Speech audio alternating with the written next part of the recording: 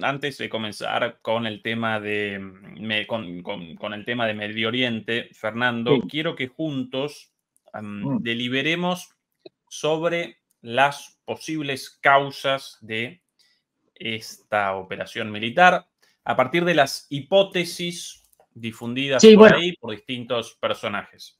Yo, si querés, las. Una, cosa más, porque me he Respondés con tu, con tu mirada sobre cada una de las hipótesis. no, pero, No, digo que como siempre me desvío, esto, todo este rollo que último que he contado de Irán es porque eh, para decir que Irán había, había, o sea, había, había ocupado todos los grandes titulares, Israel y Oriente Medio, de las últimas semanas, con lo cual de la guerra en Ucrania ya les acordaba. Y esto es una operación propagandística para decirle a Occidente, mira, todavía somos capaces de lanzar ataques y hacer cosas. Además, somos los primeros que hemos entrado en territorio ruso desde la Segunda Guerra Mundial, etcétera, etcétera, ¿no? Todo ese tipo de cosas, salir otra vez en los grandes medios y, por supuesto, eh, pedir financiación y que eh, les manden más dinero y armamento para seguir aguantando. Básicamente yo creo que es eso, porque bueno, primera hipótesis, esa, la de una operación publicitaria, una operación de relaciones públicas, una más, de alguna manera, recordemos las del puente sobre el estrecho de Kerch, la operación anfibia en Krinky, la voladura de, de, la represa de no recuerdo qué localidad mm. rusa, Em, la resistencia hasta el último ucraniano en Bakhmut sin ningún sentido para que pudiera Zelensky en el Congreso estadounidense, ¿no? Mm, eh, Bakhmut no cae, bueno, a los pocos días sí, pero en ese momento todavía no, a fuerza de carne de cañón entregada como presa, como, como, sí, como sacrificio eh, a los rusos. Esa es la primera hipótesis, sin dudas, esa es una hipótesis atendible, ¿verdad? Vos eh, Sí, sí, sí. Teniendo en cuenta que, llevan haciendo esto desde el principio de la guerra, operaciones publicitarias para conseguir cosas, digamos, de sus patrocinadores occidentales, pues. En una guerra en la cual, a diferencia de los rusos, en la cual los ucranianos, a diferencia de los rusos, quienes generan su propio armamento, deben permanentemente em, presentar resultados, esto como ante los jefes, ¿no? Sí, sí. ante, ante, la junta directiva de una empresa, el, gerente general debe presentar los resultados para que convaliden el presupuesto. En este caso, presenta los resultados, entre comillas, resultados, la apariencia de resultados para el envío de más armas. Bien, primera hipótesis, esa. Segunda hipótesis, eh, sostenida por algunos. Eh, mm, realizar una operación de distracción y de desgaste em, para que los rusos deban redireccionar recursos del Donbass, donde realizan avances cotidianos, donde el frente aparece roto, el frente, las defensas ucranianas aparecen rotas. Bueno, generar entonces un frente adicional como generó Rusia en Kharkov para la distracción de recursos rusos hacia ese lugar. Yo creo que no. Quiero decir, puede que fuera una idea, pero si es una idea original de ellos, es, es una idea equivocada, porque los rusos ya tienen muchas más unidades y hombres.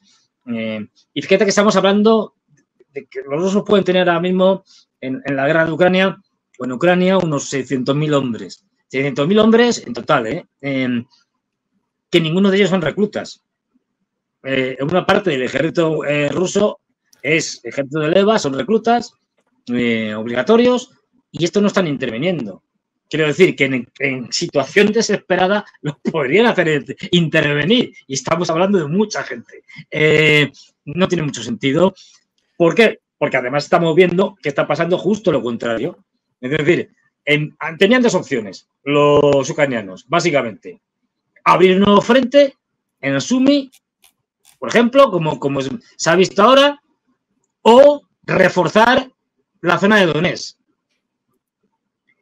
¿Esto qué quiere decir? Pues que han elegido lo de Sumi y han dado por perdida la zona de Donetsk. Y es un grave error. De hecho, lo que estamos viendo ahora es el avance eh, de, que sigue, que prosigue el avance de, las unidades rusas en una situación ya mm, en, algunos, en algunos puntos concretos casi de, de semicolapso, es decir, con retiradas permanentes, toma muy rápida de las aldeas, los pueblos y, y, lo último de hecho que he visto es que ya en, la zona de Úgreda, en, en, la famosa carretera que la une con, con a ver si lo digo, con, con, con, con, aquí, esta es... Con sí, Constantinivka. Constantinivka, que hay dos, la pequeña, eh, que es esta, bueno, pues ya habían entrado, ya habían podido entrar y cortar una parte de la carretera, pues, pues ahora han cortado ahí y, esto quiere decir que le queda muy poco. En el momento que eh, corten, corten eh, vamos, eh, un avance más y prácticamente en cuanto lleguen a Bodrián, que está un poco más a la, a la, izquierda, a la izquierda ahí, ahí, ahí, en cuanto se acabó y todo eso se hunde. Eso es un desastre, porque significa que todo el frente sur de Donetsk pasa a manos de los, de los rusos prácticamente porque se han quedado sin capacidades de, suministro logístico. Y luego en, yo lo pronuncio muy mal, porque joder, tres, tres consonantes, Prokrovsk o algo así, porque es una, K y una, T, ya, más de dos, eh, como que no. Eh, bueno, pues aquí eh, recordábamos que la otra vez decíamos que estaban a unos 17 kilómetros y pico eh, de esta ciudad el, el, avance de los rusos. Pues han avanzado más y ahora, según parece, están, por lo que he leído, a unos 14. Es decir, eh, esto al, ritmo que llevan, eh, pues a finales de agosto están ya en, Prokrov, en principio sin mayores problemas, porque lo que estamos viendo en esta zona es que se están retirando, es que están tomando estos pueblos, estas aldeas, eh, prácticamente muy rápido en comparación con lo que pasaba antes.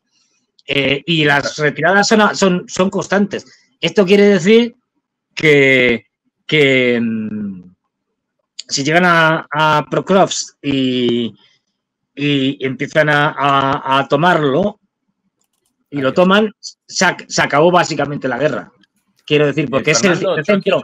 con Sí, yo aquí con la herramienta de medición y mm. los 14 kilómetros efectivamente a la línea de, a la última línea defensiva alrededor de Pokrovsk, porque a la línea defensiva exterior ya según ya nada, no, o medición ah, desde aquí mm, bueno, no me ayuda ahora aquí, ay, ya seleccionada, por eso esto no, esta de aquí, esta Sí, sí.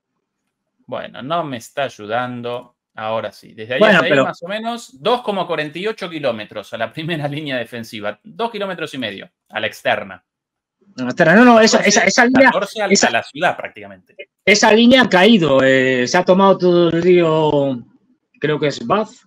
Eh, y lo que han hecho además con esta operación es que eh, los ucranianos tenían montado una línea en torno a este río y lo que han hecho es flanquearla por el norte entrarles por la retaguardia y claro, ha venido cayendo todo. Y esto va, mm, se van a presentar aquí en nada. Em, y esto era una decisión clave, estratégica. Reforzamos esta, esta parte del frente fundamental en Donetsk, como la de Ugledar y tal, estos puntos ya eh, que, están, que están cediendo con lo que nos queda, o hacemos lo que han hecho.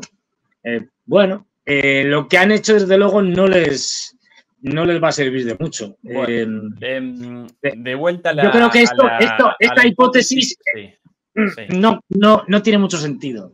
Completamente de acuerdo con vos, Fernando, para generar un frente adicional y que eso determine em, la diversión de tropas eh, enemigas hacia ese lugar, ese frente adicional no puede connotar de ninguna manera el reenvío de tropas necesarias en el frente principal.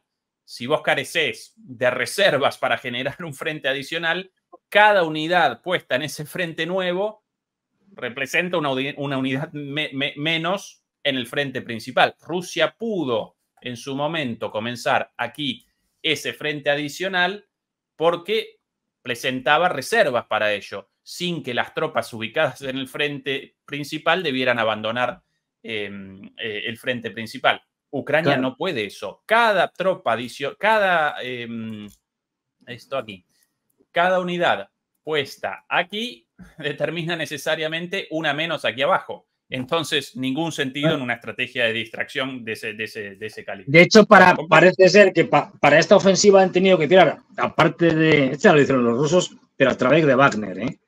que era una compañía privada. Eh, y, pero ellos ya eh, también utilizan los presos y han tenido que llevar muchos presos allí, retirar las parte de las casi todas las tropas que tenían en, la frontera con, con Bielorrusia que no eran muchas, 17.000 hombres o así, llevarlos también. Es decir, han tenido que tirar de casi todo lo que tenían por ahí. Eh, entonces, no, no, no, le veo yo eh, mucho sentido a esta jugada, más allá del, tema publicitario. Bueno, eh, a ver, están fastidiando los precios del, los precios del gas a Europa, porque están subiendo. Pero, pero que allí se encuentra una de las estaciones de gas. Fernando, mm. tercera hipótesis. Quiero tu opinión sobre la tercera hipótesis em, vista por ahí.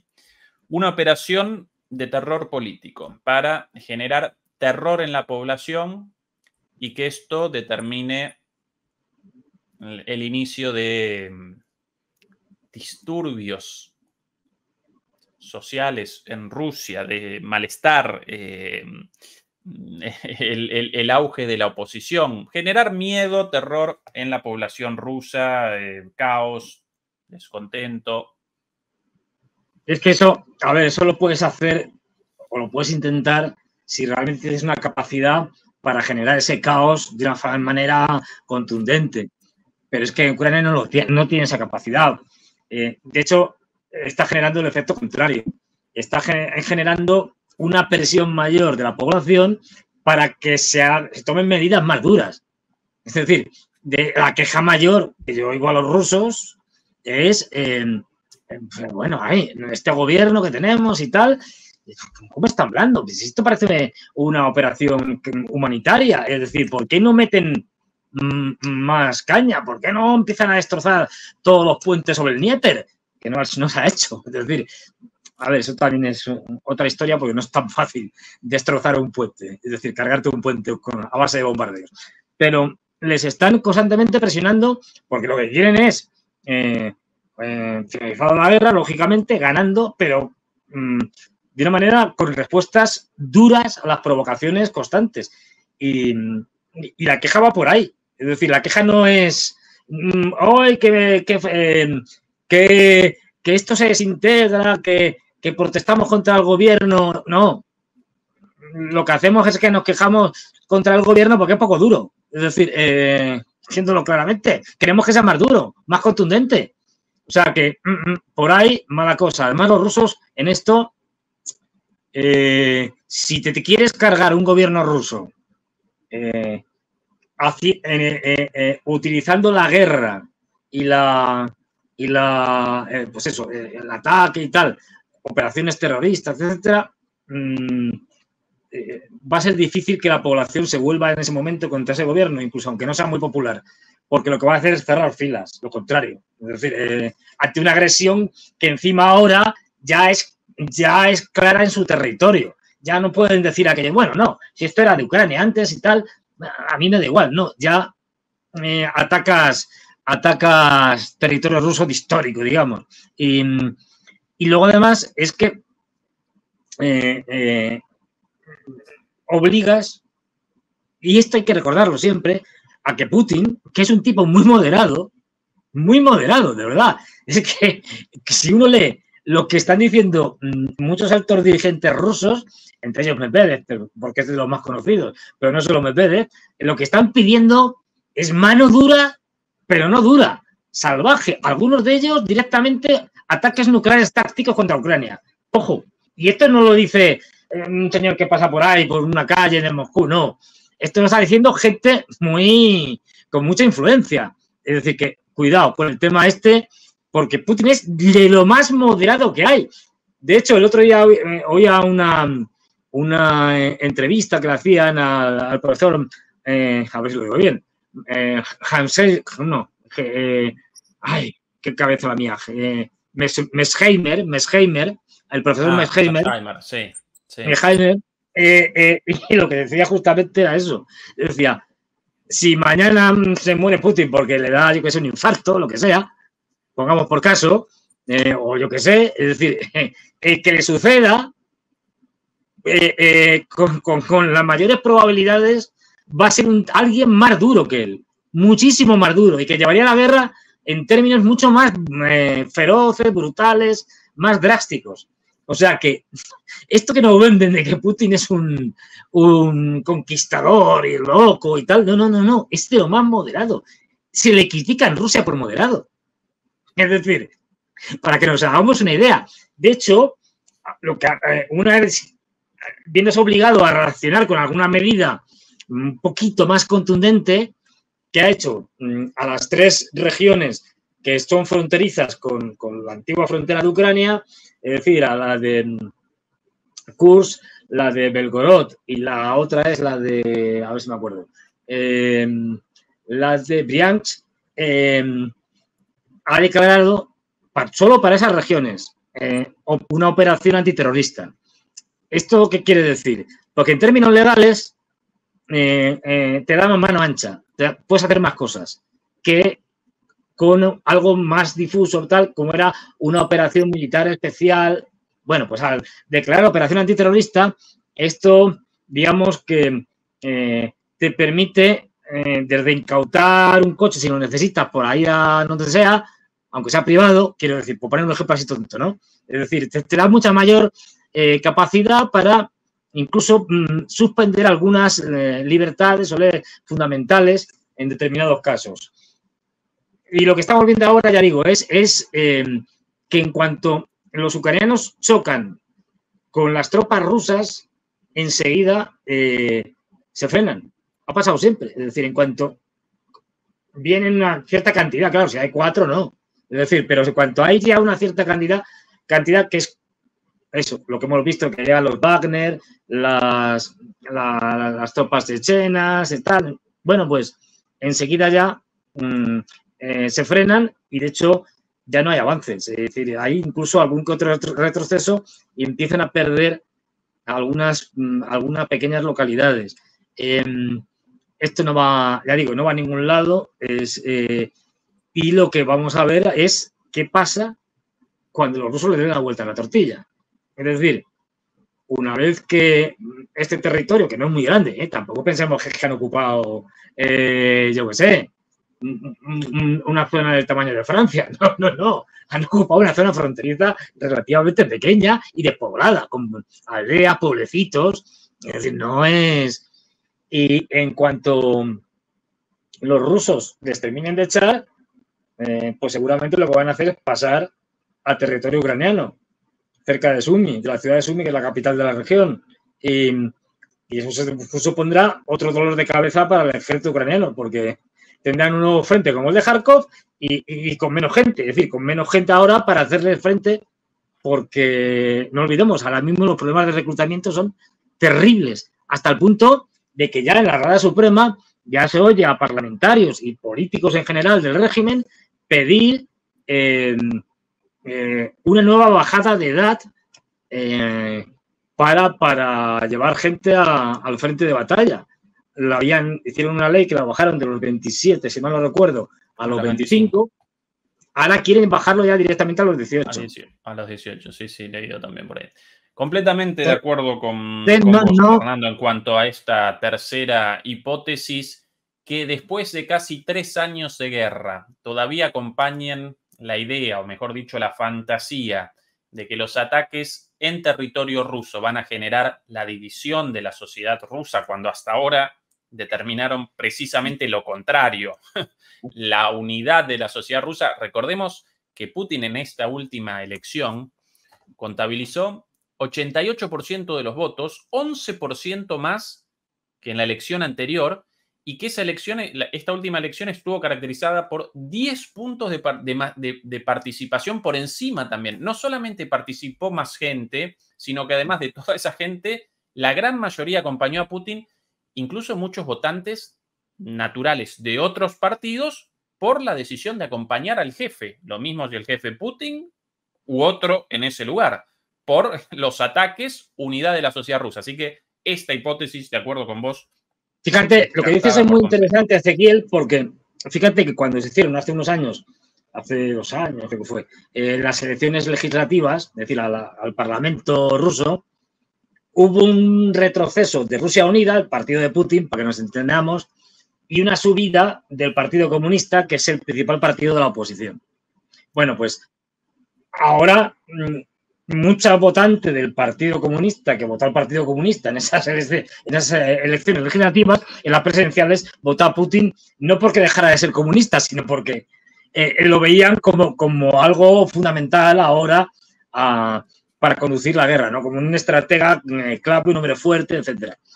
Pero fíjate eh, que esto es muy importante dices, vale, el segundo partido que hay allí, eh, eh, por diputados, tal, votos, es el partido, el Partido Comunista. El Partido Comunista tiene posiciones desde el punto de vista militar y con, respecto a la guerra de Ucrania más duras. Que, Putin, muchísimo más duras.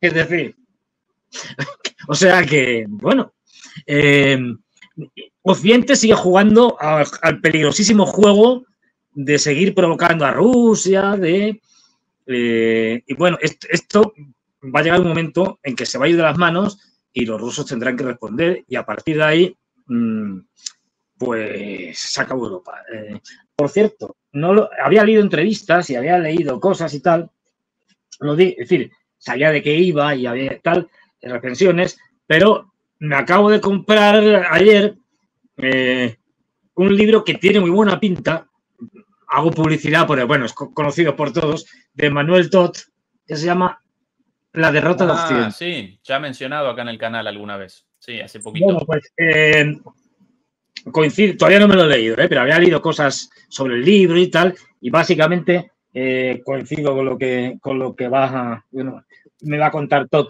en el, en el libro. No olvidemos a alguien que en los años 70 ya dijo que la Unión Soviética iba a caer. Eh, pues acertó. Sí, acá en el, en el, canal presentamos una entrevista concedida a un diario de la ciudad de Berlín, relativamente pequeño, porque obviamente en los medios grandes no, no. lo quieren, y básicamente presentaba una interpretación de la situación actual. Eh, yo lo, lo presentaba en broma, eh, Manuel Todd debe aparecer suscrito a Demoliendo Mitos de la Política porque acompañaba nuestra línea de cabo a rabo, Fernando, ¿eh? como, un, panelista más, como un analista de DMP, exactamente. A ver, pero si es que, que la gente no se crea que es que yo estoy feliz y contento y, no sé, descorchando botellas de champán porque Europa y España está en Europa, es decir, se hunde. No, no, esto es un desastre. O sea, desastre que vamos a padecer todos, yo también. Bueno, yo ya estoy padeciendo por otras razones. Pero bueno, esto es un desastre que vamos a padecer todos. Eh, o sea, que no tengo ninguna razón para estar feliz. Mm, pero eh, no se trata de que esto me ponga feliz o me ponga triste. Eh, no, se trata de hacer análisis lo más objetivos posibles. Es decir, y, la realidad es esta, es que Occidente está cayendo en picado y estamos viendo, aunque es una comparación que habría que meterle una enorme cantidad de matices, pero es como el Imperio Romano, algo que ha durado mucho y que a diferencia del Imperio Romano, que tardó mucho en caer, el Imperio Romano Occidente, eh, eh, esto está cayendo eh, a una velocidad que ni yo mismo me, lo, pensaba. Es decir, estamos viendo el hundimiento de Occidente en directo y, a una velocidad que, que incluso el año que viene ya puede estar esto básicamente, aunque luego se tarde mucho, pero básicamente ya puede estar decidido. Eh, me explico, es decir, es como lo de, como ahora en, la guerra de Ucrania. Si al final cae el frente de Donetsk y toman Prokrovsk y, y, estas cosas, y, pues aunque luego todavía haya combates, durante un cierto tiempo, ya la guerra está decidida. Quiero decir que puede haber, es como en la Segunda Guerra Mundial. Todo el mundo sabía desde, desde Stalingrado como mínimo, es decir, que la Alemania estaba derrotada. Otra cosa es que como seguía siendo todavía muy fuerte, iba a llevar un tiempo, unos años, que ya todo el mundo sabía que era imposible que ganara. No podía ganar. Y estamos hablando de, de un ejército poderosísimo, que era el, el, ejército de la Alemania nazi, un ejército eh, con unas capacidades militares enormes y que había además desplegado más de 3 millones y medio en, la, operación Barbarroja y hasta casi el final nunca bajó de los 2 millones 200, 300 mil eh, soldados en el frente oriental, que es una barbaridad. Estamos hablando de, bueno, pues estamos viendo... Sobre, eso, sobre la contraofensiva de las Ardenas, podemos en un ratito... Igual, eh, un intento desesperado en un ratito, en un ratito. Por ahora las ah. hipótesis. No, no, no, no, no abandonemos. Vale, vale, vale. Que me sí, yo me voy por ahí. Recordemos para los demoledores y las demoledoras que me, Todd, Emanuel Todd, si no recuerdo mal el primer nombre de él, Emanuel Todd, eh, representa el historiador más importante de Francia en los últimos 50 años. ¿no? Sí, historiador, sociólogo, demógrafo. es decir, eh, una de las, de las cabezas más lúcidas de Europa, lo, de, lo del suscriptor de Demoliendo Mitos, obviamente dicho en broma, pero la coincidencia en la línea verdaderamente total. y porque no es una cuestión. sí lo que tú decías es que, bueno, lo que decíamos, es que, no es una cuestión de gustos. Cuando analizamos, intentamos saber qué está pasando y qué puede pasar. Eh, pero no en función de que seamos pro-rusos, pro-ucranianos. No, no, no. Pues no es, crítico realista, básicamente. Crítico realista, aunque no me guste. Muchas veces tenemos que decir cosas que yo preferiría que pasaran pues otras cosas, pero no, es lo que hay. Es decir, eh, a propósito, Fernando, de la caída de Occidente y de la caída del imperio estadounidense, hace unos días presentamos una charla tomada de otro canal, el canal de Durán, traducida por eh, el canal de mm, Pascal Lotats, este profesor suizo en Japón del canal eh, Estudios de la Neutralidad, Neutrality Studies, en español Sanebox. Alguna vez participamos en su canal y él participó acá, un maestro, este chico, este profesor, un chico joven, treinta y pico de años. Bueno, eh, presentamos esa entrevista em, a el ex coronel, eh, eh, si no recuerdo mal de nombre, estadounidense, Lawrence Wilkerson. Este señor, básicamente, durante el, el gobierno de, el primer gobierno de Bush, básicamente representaba la mano derecha de Colin Powell. Él aparecía en eh, la jefatura de gabinete de la Secretaría de Estado, el Ministerio de Relaciones Exteriores, con Colin Powell, un tipo conservador. Pero después del desastre visto ahí, el tipo, un republicano conservador, abandonó el gobierno y comenzó a realizar críticas muy duras y muy, muy fundamentadas, porque él participó en todo esto. Desde ahí en adelante, bueno, esa entrevista aparece ahí en el, entre los videos. No la desaprovechen porque presenta algunas cosas sobre el inicio de la hegemonía de los halcones neoconservadores en los gobiernos estadounidenses, vividas por él de primera mano, ¿sí? Como republicano. Muy, pero muy interesante. Y él redondea esto y de hecho referencia un libro, ahora no recuerdo el autor, sobre em, el final de los, las caídas de los grandes imperios. Y según, según ese autor, cuyo nombre ahora no puedo recordar, todos los imperios en algún momento cuando comienzan su fase de decadencia inevitable, comienzan a cometer locuras, a cometer errores y a motorizar una política exterior completamente alocada, sin sentido y, bueno, guerrerista, pero sin, sin, sin ningún sentido, sin ningún objetivo claro. ¿no? Esto lo presenta la mano derecha de Colin Powell, ¿sí? nada más y nada menos. Así que, eh, ah, por, otro lado, desde un, desde un historiador francés em, asimilable al pensamiento crítico de izquierdas, a un exfuncionario de George W. Bush, em, republicano, conservador, pero también crítico y realista, el, diagnóstico de la situación al mismo, la, la, debacle de Occidente. Eh, ¿Por qué? Porque los dos realistas, con ideologías, miradas distintas, pero los dos realistas, los dos críticos, la conclusión la misma. Fíjate, eh, es que eso estamos viendo constantemente. Ya estamos viendo el caos que tiene Estados Unidos, que, es espectacular.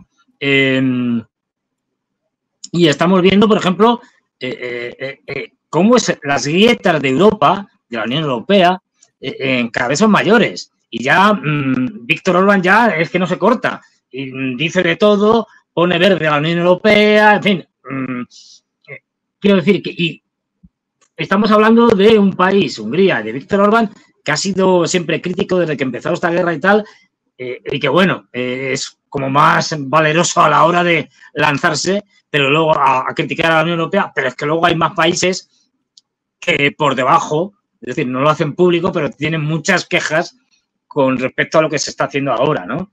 Y, pero fíjate que mm, eh, lo digo porque estaba mirando por aquí antes de que esto se me vaya la porra, eh, datos, datos, estaba mirando por aquí, ah, no, unas declaraciones de el, general, un general alemán, para que veáis ah, cómo están. las presentamos ayer, las presentamos ayer, de ah. Richter de apellido.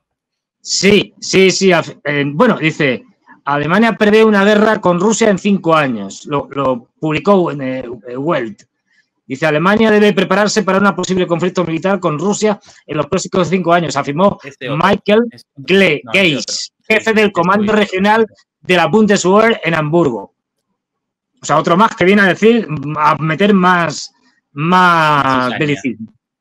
Es decir, en su opinión, el país debe ser socialmente estable y estar preparado para enfrentar una amenaza militar externa. Gies destacó eh, eh, la preparación para la guerra es una tarea importante para la política, el ejército y las empresas, la sociedad en su conjunto. Anteriormente, nuestra querida ministra de Asuntos Exteriores, Elena Barbuk, también calificó a Rusia como la principal amenaza para la seguridad europea y pidió un mayor apoyo para Ucrania. Es decir, están, esto se, esta panda inconsciente es lo que tú decías. Eh, un imperio en decadencia y sus vasallos o provincias eh, empiezan a cometer errores por todos los lados y a hacer apreciaciones eh, que no tienen nada que ver con la, con la realidad. Y bueno, así, así, así nos va. Esto, hago un paréntesis, hago un pequeño paréntesis, lo digo porque como lo estoy mirando aquí para verlo, eh, porque como esto es un desastre, se me va a ir la batería del otro móvil, y hago este pequeño paréntesis porque eso es importante. Eh, eh, el viernes pasado dediqué el programa a hablar del lío que hay montado con el tema de Bangladesh, que parece que es una cosa así, bueno, pero es muy, muy, importante.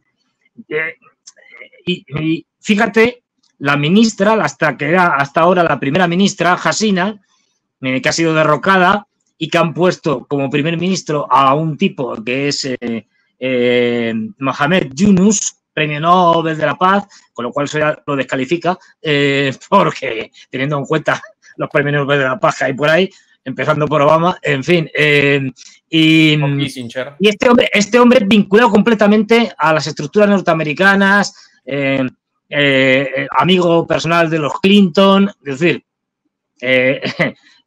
participante habitual de Davos, en fin, vamos, claramente pro norteamericano y fíjate las últimas declaraciones que ha hecho desde la India la, ex primera ministra de Bangladesh, Sheikh Hasina. Dice lo siguiente, culpa a Estados Unidos por derrocarla en el golpe, porque se negó, o sea, está diciendo que fueron los Estados Unidos los que estaban detrás del golpe. Esto es lo que dice ella, ¿eh? Dice, ¿y por qué lo hicieron? Dice, porque se negó a ceder la soberanía de la isla de San Martín que habría dado a Estados Unidos un control sobre la bahía de Bengala. Los norteamericanos en esa isla, es una isla que está ahí, eh, de Bangladesh, querían poner una base militar. Eh, y dice, y textual, Hasina, podría haber permanecido en el poder si hubiera rendido, rendido la soberanía de San Martín Island y permitido que los Estados Unidos mantuvieran el poder sobre la bahía de Bengala le pido a la gente de mi tierra que por favor no se deje manipular por los radicales. Renuncié para no tener que ver una procesión de cadáveres. Querían llegar al poder sobre los cadáveres de los estudiantes, pero no lo permití. justificando que se fue de allí. Pero lo dice, Mm, textual. Una demostración más de la decadencia mm, del imperio estadounidense y de su desesperación y de sus manotazos de ahogado. Eh, ayer, por cierto, no presentábamos eh, a este general, este, este un general activo, el, este, este de eh, generando cizaña mm, contra Rusia. Ayer presentábamos también de Die Welt el, el, video de una entrevista en el cual llamaron a un ex general alemán, a un mm. viejo, pero el tipo con un análisis serio, mm. seguramente el tipo conservador, eh, realista y comenzó a, responder las preguntas sobre la, incursión en Kursk con el mismo análisis que nosotros, pero incluso más duro todavía, de que esto sin ningún sentido, y al poquito tiempo, bueno, bueno, eh, nos llaman de otro lado, sacado del aire inmediatamente, eh, a él presentábamos por cierto, aquí un poquito de publicidad sobre eh, las cosas publicadas a lo largo de la semana. Esta la entrevista muy traducida, doblada al español. Coronel de Estados Unidos vaticina la derrota muy, pero muy buena. Mm, yo no siempre realizo recomendaciones de cosas publicadas en el canal, no hecha por nosotros, hecha por el grupo de Durán, uno de los, eh, de los medios críticos en inglés más importantes de todos. Súper, súper recomendable para ustedes para los demoledores y las demoledoras. Bueno, Fernando, entonces la tercera hipótesis, obviamente no, los dos de acuerdo en eso, esto de una operación para generar la desunión, la, ruptura de la sociedad rusa, evidentemente no. Cuarta hipótesis posible en esta búsqueda de un sentido a esta operación militar eh, inexplicable hasta el momento. Em, cuarta em, hipótesis a partir de las palabras de Podoliak, uno de los asesores mm. de Zelensky.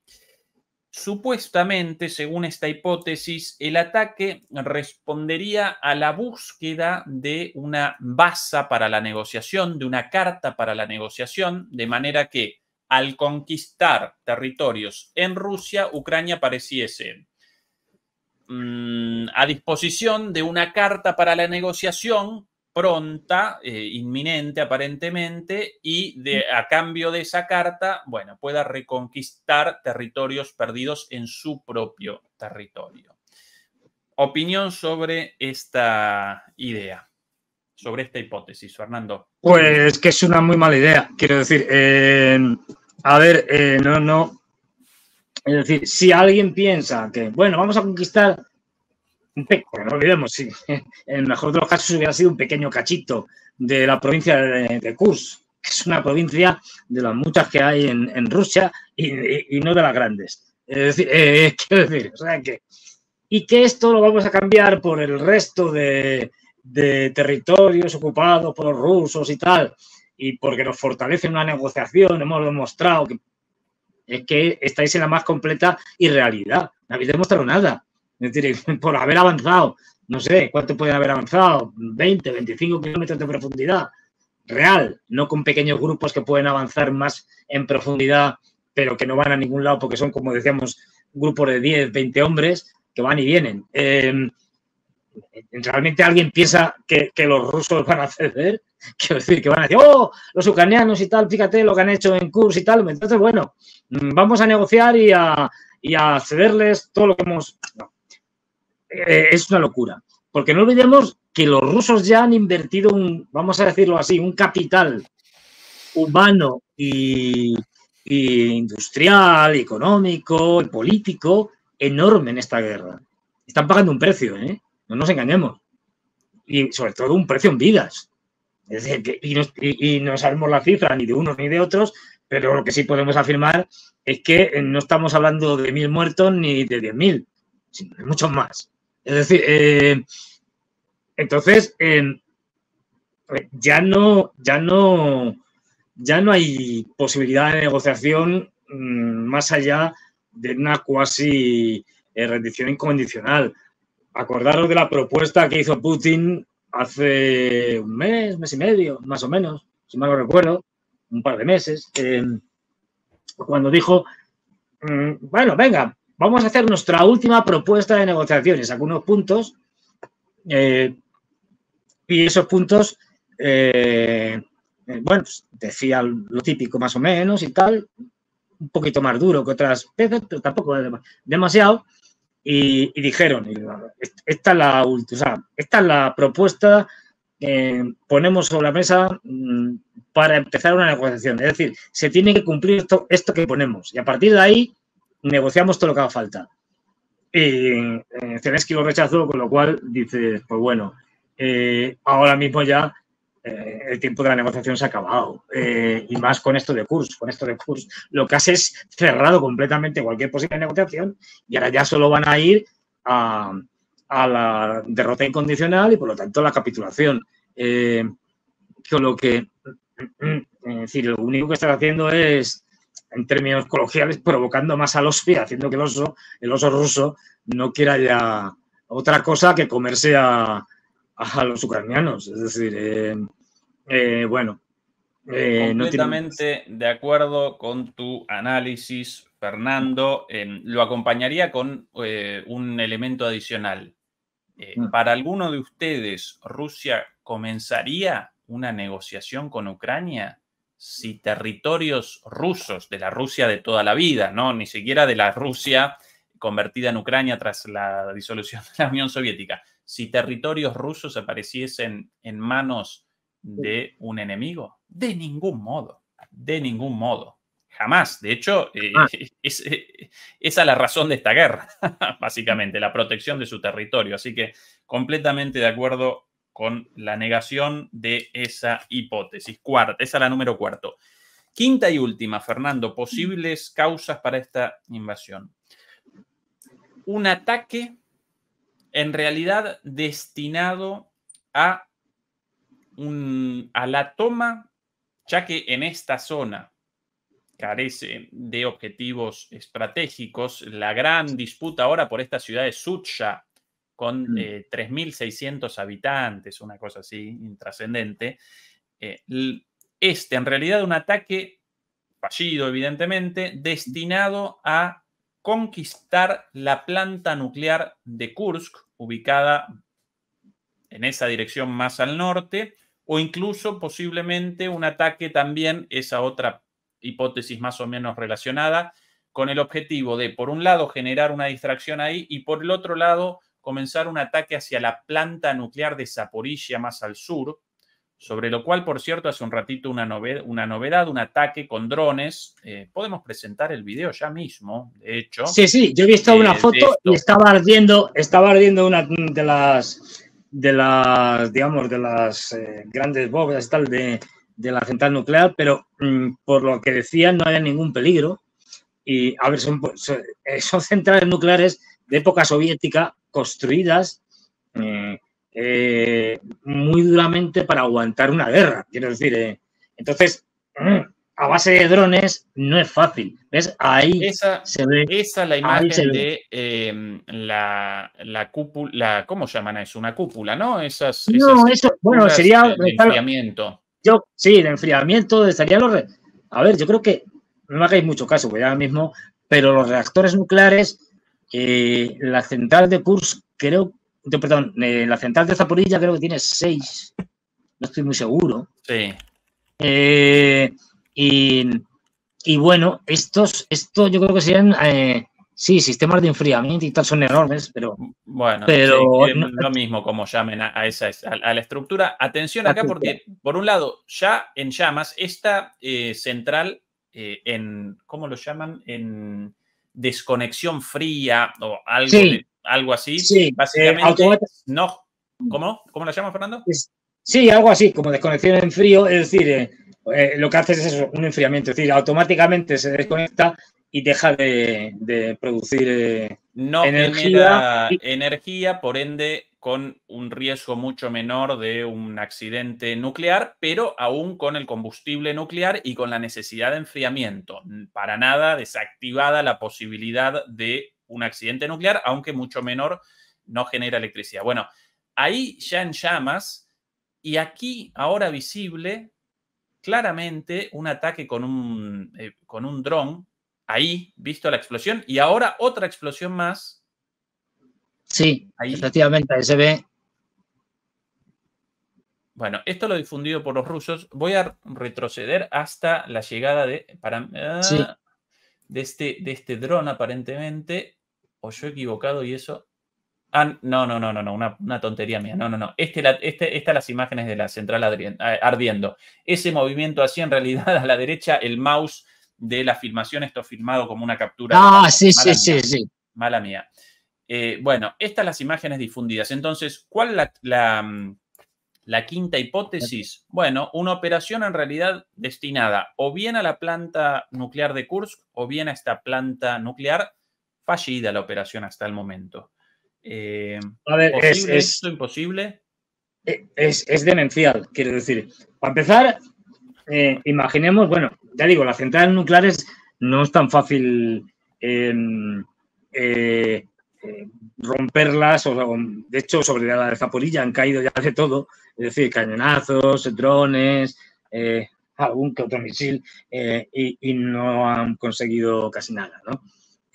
Hasta ahora quiero decir que son muy robustas. no me hagáis mucho caso, pero no sé si, si las paredes de hormigón reforzado y tal eh, de los reactores nucleares son, eh, las exteriores, son de, creo recordar, de metro y medio. O sea, ¿sabéis lo que es una pared de metro y medio? Yo no puedo abarcarla con mis brazos. Es decir, eh, llaman, según Wikipedia, torres de refrigeración o torres de enfriamiento. Ni cúpulas ni torres de refrigeración. Bien, gracias a Wikipedia. Entonces, entonces, es decir, eh, pero fijaros ya la locura y el desvarío de Zelensky y compañía. Imaginemos que hubieran conseguido su propósito y que no explota, pues no, no, explotaría, digamos, en el sentido como si fuera una bomba atómica, eso no pasa, pero hubieran generado una, algo parecido a Chernobyl, ¿no? Un, mm, un destrozo que eh, extendiera radiación por un, eh, vamos, por un territorio enorme. Los, principales afectados serían los ucranianos. Quiero decir, les importa tres pimientos acabar con parte de su población, porque está justo en la casi casi al lado está el río el Niepe y al otro lado está ya la está Ucrania, con lo cual dices, es decir, eh, pero estos tipos con tal de, salvar su pellejo son capaces de irradiar media Ucrania. Les da igual y matar a la mitad de la población. Es decir... Según esta hipótesis, no querrían inmediatamente una explosión nuclear, sino la toma de la central para después poder presentar como amenaza la explosión nuclear efectivamente, ¿no? Pero igual de desquiciada la...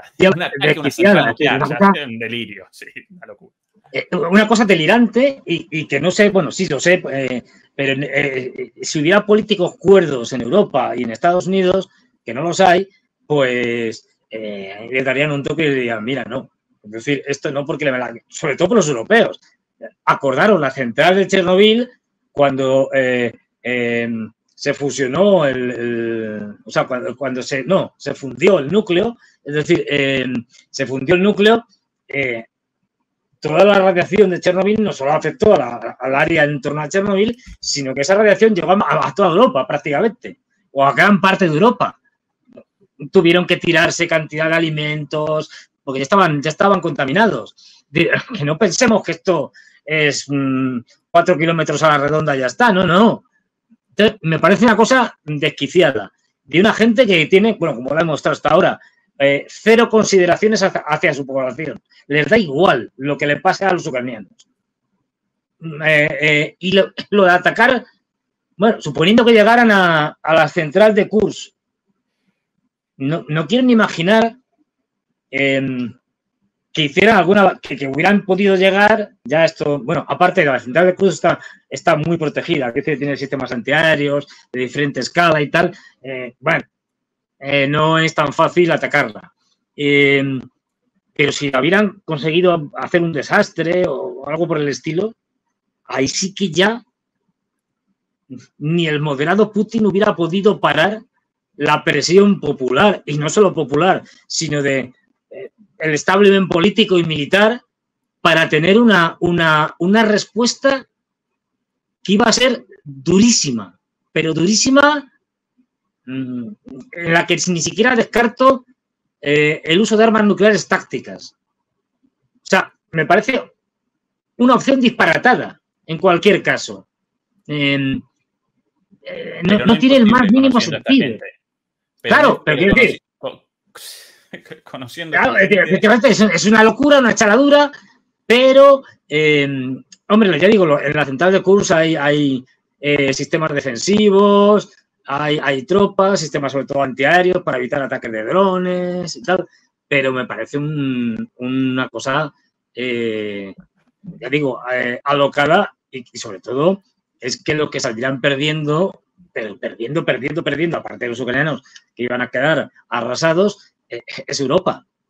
Es decir, ante esto, estamos hablando de, de, de volar una central nuclear, de atacar una central nuclear y eso es un disparate. Quiero decir, en territorio ruso, además, eh, esto, la represalia, si se hubiera podido, si hubieran podido llegar allí y hacer alguna cosa de estas, o utilizarla, vamos a suponer, como rehén y tal, para no se sabe qué cambios, o para qué, eh, o para que los rusos cedieran, eh, los rusos no hubieran cedido. y lo que hubieran hecho es amenazarles, pues de alguna manera muy dura y además amenazarles, no directamente a Zelensky, pero es que no pinta un pimiento en esto. Bueno, pinta muy poco. Coger el teléfono y hablar con los norteamericanos y decirles a los norteamericanos, mira, o estos tíos sueltan la planta de Kurs o, mm, podéis imaginar lo que va a pasar. Y te puedo asegurar que los norteamericanos le hubieran dicho, mm, Zelensky, ahora mismo os vais de allí pero pitando. Eh, ya ha habido, según parece, algo parecido. Eh, nunca sabemos cuáles son las verdaderas líneas rojas. A veces hay líneas rojas, digamos, publicitarias, que luego, como ha pasado con los rusos, claro, esto es una línea roja, y luego, bueno, pues han pasado los ucranianos y los europeos y la OTAN la, línea roja y no ha pasado nada, porque tampoco sabemos cuáles son las verdaderas líneas rojas. Y según parece, Belusov, el, ministro eh, eh, de Defensa eh, ruso, hace un par de semanas o tres más o menos, eh, llamó a su homólogo norteamericano, al secretario de Defensa norteamericano, y le dijo, no se conoce obviamente la conversación, pero parece ser, lo que se sabe de ella, es que hablaron de que los, de que los ucranianos por libre, porque es verdad que de vez en cuando van por libre, es decir, sin que eh, tienen, tienen iniciativa propia y, justamente lo que estaban diciendo es que lo, eh, habían, habían descubierto esto lo que se ha comentado, que querían hacer un atentado contra Putin en el desfile de, del día de, la Marina, etcétera, etcétera. Eh, y que, bueno, los servicios secretos rusos lo habían detectado, este intento de, de atentado y el ministro le había llamado a, al ministro de Defensa ruso, al, de, al secretario de Estado norteamericano, le había dicho, mira, esto sí que es una línea roja. E inmediatamente los norteamericanos hablaron con Zelensky y dijeron, ya estáis parando esto, pero ahora mismo. Y efectivamente no hubo atentado ni intento de atentado. Esto es lo que se ha comentado. Quiero decir que, más allá de que esto sea cierto o no, la conversación sí es cierta, ¿eh? es decir, que se llamaron y que hablaron, eso está probado. Lo que las filtraciones que luego ha habido de lo que trataron, pues esto es lo que nos han contado. Pero que hablaron eh, entre ellos, eso está, está probado. Y, aquí también, ya digo, en caso de una cosa de estas, eh, se pondrían en contacto y los, los norteamericanos frenarían a los ucranianos en caso de que no estuvieran detrás, ¿no? Pero vamos, eh, es absurdo, un intento de tomar la central nuclear de Kursk inmediatamente mm, provocaría una llamada del ministro de Defensa, Belusov, a, este, nunca me acuerdo del nombre, se me va, el secretario de Defensa a Lloyd Raytheon eh, eh, Austin. el sobrenombre, ¿no? Sí. Eh, Austin y, le hubiera dicho, mira, esto sí que es una también, esto también es una línea roja y sacarlos de allí. Los hubiera sacado, evidentemente. incluso Biden, en su demencia, hasta Biden los hubiera sacado en su demencia. Es decir, que, que tampoco le veo sentido. O sea, son, esto no, no le veo, no le veo.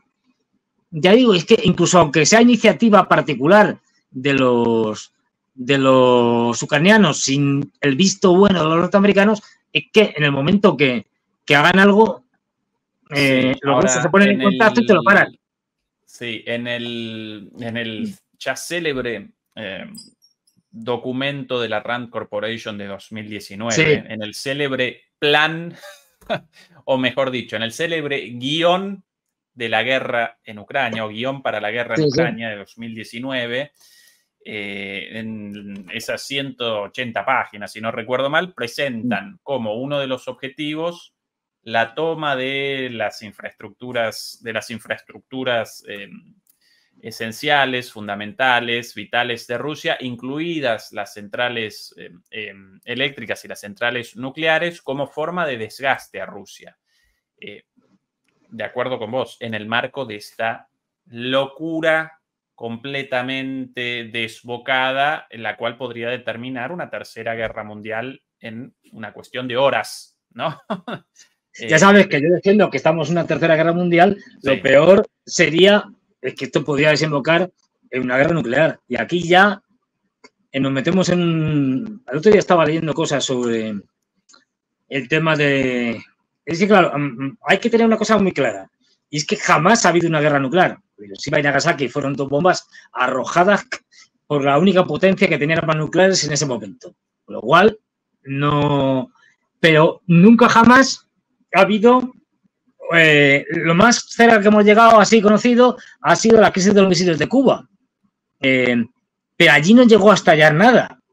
Se, solucionó, por suerte, antes de que las cosas fueran a peor. ¿Qué pasaría si eh, uno de los dos bandos utiliza un arma nuclear táctica? Incluso en una zona bastante deshabitada. a partir de ahí, es que todo es terra incógnita. Es decir, todo es una tierra desconocida en la que, y esto es muy importante, el concepto de destrucción mutua asegurado, MAT, eh, ya no es vigente porque los americanos lo han cargado. No porque, eh, bueno, a partir de ahí que eh, hacemos un ataque táctico y los norteamericanos responden con un ataque nuclear táctico, depende qué cosas ataquemos. Mm, la escalada va a ir mm, o no va a ir, eh, no lo sabemos. Eh, es que se han hecho simulaciones, se han hecho todo tipo de teorías, de tal, pero una cosa es el pensamiento estratégico, por muy elaborado que sea, simulaciones, etcétera, y otra la realidad. Y la realidad es que puede pasar cualquier cosa. Entonces, yo creo que ahí em, los, los norteamericanos que yo tengo claro que no van a dar, o sea, no van a entrar en una guerra nuclear con los rusos por Europa, ni por Ucrania, ni por Europa en su totalidad, vamos, para nada. Eh, ¿Por qué no? Es decir, no, se la van a jugar por unos vasallos, eh, no, eh, bueno, eso se pararía de alguna forma, pero ya digo, entraríamos en un... El problema es que estamos en una guerra mundial con dos bloques bien definidos, el bloque occidental, ya lo sabemos, el de Estados Unidos con los anglos, con Canadá, Gran Bretaña, Australia, Nueva Zelanda, el resto de Europa, los europeos y los británicos, eh, eh, más o menos, con disidentes, disidentes como Hungría y Eslovaquia, pero bueno, más o menos, y luego eh, Corea del Sur, Japón, y, bueno, y el caso extraño de Taiwán, digamos, por sus características eh, de que Estados Unidos lo reconoce como parte de China, pero sin embargo eh, actúa como si no lo conociera. Es decir, mandándole armamento, vendiendo el armamento y tal. Eh, ese es el, el, bloque occidental, fundamentalmente ya mm, después de la última reunión, cumbre de la OTAN, que hubo hace poco, con japoneses, neozelandeses, tal, australianos, coreanos del sur, pues ya es una OTAN ampliada, es la gran OTAN, podríamos llamarla. Es decir, y por el otro lado, pero que ya tenemos un, pero por el otro lado tenemos, tenemos ya un, es decir, no es tan organización como, lo es, como es la OTAN, pero tenemos ya, digamos, un grupo de países con intereses mutuos y con compromisos, incluso militares, como es el caso de Rusia con Irán, que se firmaron. Es decir, y que ratificó Shoigu con su visita como presidente del Consejo de Seguridad Nacional ruso. Es decir, ojo, es que tenemos a Rusia, a China, Corea del Norte, fundamental, con un acuerdo de defensa con los rusos. De defensa. Es decir, que si te atacan, voy y te ayudo. Eh, eh, los iraníes, ese eje famoso mm, que es imposible de derrotar, más Corea del Norte, más obviamente Siria, más el eje de la resistencia compuesta por Hezbollah en el Líbano, las milicias chiís iraquíes y de todo tipo, que por cierto están atacando ahora, estos últimos días, a los norteamericanos y a los kurdos en Siria, eh, no por nada, eh, y, el Yemen, es decir, y los Houthis en Yemen. Eh, esto ya tenemos un, otro bloque ahí montado, que se está oponiendo al, mundo unilateral y hegemónico de los norteamericanos. Y luego un montón de gente que está más cercano de unos o de otros y muchos de ellos jugando a varias bazas por lo que pueda pasar o viéndolas venir. Es decir, a ver cómo se resuelve esto y mm, al mismo tiempo con una, un proceso de, de, desdolarización que va más rápido de lo que parece. Ya tenemos que eh, eh, eh, los rusos y los chinos ya no comercian en dólares entre ellos, pasa igual con los iraníes. Em, esto va muy rápido, cada vez más países se comercian en, en, sus mismas monedas em, y, y, estamos a la espera de la famosa cumbre de los BRICS en octubre, donde todo apunta que se van a dar unos golpes notables al, dólar y, esto, esto va más, quiero decir, que no va menos. Y lo estamos viendo porque, pues, en el caso de Bangladesh, que se siguen abriendo frentes, no se cierran, se abren. sí, ahora, Fernando, eh, Estados Unidos no comenzaría una guerra nuclear por Europa. Acompaño tu visión si Estados Unidos apareciese en su sano juicio con un líder como Kennedy, eh, en un periodo em, en el cual, en un periodo de su dominación, de su supremacía mundial, en el cual no apareciese en franca decadencia, a pesar de sus intereses y de lo inconveniente y de que efectivamente desde el punto de vista racional no comenzaría Estados Unidos una guerra contra Europa, en la situación actual podría cometer una locura, podría cometer un acto de desesperación solamente por esto, por esta decadencia y que en este marco de las decadencias las grandes potencias hegemónicas a menudo acometen mm, cursos de acción completamente irracionales, ¿no? Y en el caso de la toma de una, una central nuclear como esta, y si Rusia respondiese con una amenaza, lo llaman al abuelito y el abuelito ese, día con la pastilla mal no tomada la pastilla. Em, eh, bueno, es que, es que en eso estamos, quiero decir. Es que lo que dice Ezequiel, efectivamente, es que en eso estamos. Kamala de, con, con Kamala. muerta después de una fiesta completamente pasada de merca tirada de, claro, veía el otro día un vídeo, no era de, era de, hace unos años, que empieza también a, hacer no sé qué, a decir cosas extrañas y luego soltar una carcajada de estas. Llama enojado con la amenaza, eh, con una amenaza, Fernando. O abandonan la central de Kursk o comienza una guerra, un, comienza un ataque nuclear contra ustedes. El abuelito dormido, Kamala pasada de droga. Eh, la, la, telefonista va despachando la llamada de un lado al otro. De repente aparece en la oficina de Bolton, el bigotudo eh, de la cabeza, completamente loco. y, el, y, el, bigotudo responde, no, Putin, vos y tu, al, sí, bueno, al, vos a la, a, la, a la, de tu madre, ¿no? Y, comienza la Tercera Guerra Mundial. No, no, esto, a ver. La, idea de es que, es una, locura esto, pero, pero para mí, dentro de, de las hipótesis planteadas, la número uno, completamente de acuerdo con vos, una operación propagandística, una operación de relaciones públicas, pero esta no del todo descartable, en mi opinión, esta última. No por racional, eh, pero no descartable en el marco de la irracionalidad total. Las otras sí, las, todas las, las otras tres o cuatro descartables. Esta quizás. Pero es que esto va incluso más allá de Ucrania. Quiero decir, ahora mismo este proceso de descomposición del imperio, efectivamente, como bien señalas, hace que se tomen decisiones precipitadas, irracionales, absolutamente eh, sobre la marcha, eh, por detrás siempre de los acontecimientos y, mm, todo puede pasar. Eh, no lo olvidemos, ¿qué lo estamos viendo? En un país que ahora mismo se está desmoronando internamente, se está fracturando en un proceso electoral que está mostrando el enfrentamiento ya no solo político o económico de las élites eh, eh, financieras, tecnológicas, etcétera, sino social, de desintegración social, de desestructuración social. Y lo que estamos viendo es eso, esa, esa fractura por todos los lados, y en esa fractura cualquier cosa puede pasar. Ya puede pasar una guerra civil, puede pasar un ataque nuclear como huida hacia adelante contra China, por ejemplo, aunque suene un disparate, bueno, pues sí, es un disparate, pero puede pasar cualquier, cualquier charadura. De hecho, eh, eh, Biden acaba de soltar eh, ayer o ayer, parece que fue, en, una entrevista que, que Donald Trump es más, más, o menos que es muy peligroso y que no se le puede dejar permitir que llegue al poder. Pues ya me contarás. Es decir, ante este panorama, pues cualquier cosa es posible. Por muy chiflada que pueda ser, es decir, cualquier cosa es posible.